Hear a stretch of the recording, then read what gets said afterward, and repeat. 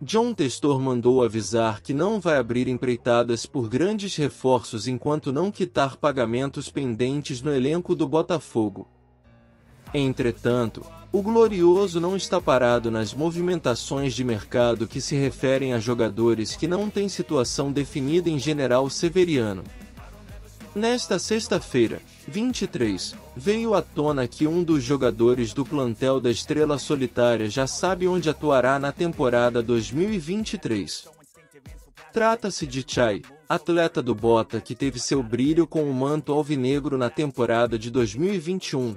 No entanto, perdeu espaço e atuou pelo Cruzeiro na Série B de 2022, sem conseguir se destacar. Segundo o jornalista Vene Casagrande, foi encaminhado o empréstimo do Meia ao Ceará. Chai será cedido por um ano, após a confirmação das negociações, que segundo Vene, estão bem avançadas. O Meia já é aguardado no Vozão para exames médicos. Aos 32 anos, Chai tem contrato com o Botafogo até 2024. Com o manto sagrado do time mais tradicional, o Mei atuou em 50 partidas, balançou as redes em 8 oportunidades e realizou 11 assistências. No Cruzeiro, o jogador teve problemas de lesão e jogou apenas 6 partidas. Com a camisa do Cruzeiro, Chai disputou apenas 6 partidas, com uma assistência, e teve uma temporada atrapalhada por problemas físicos.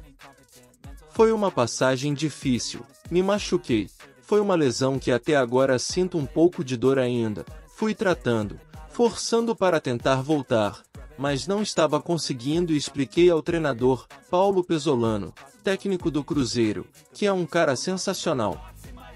No futebol, um esporte de alto rendimento, acontecem essas coisas, explicou Chai.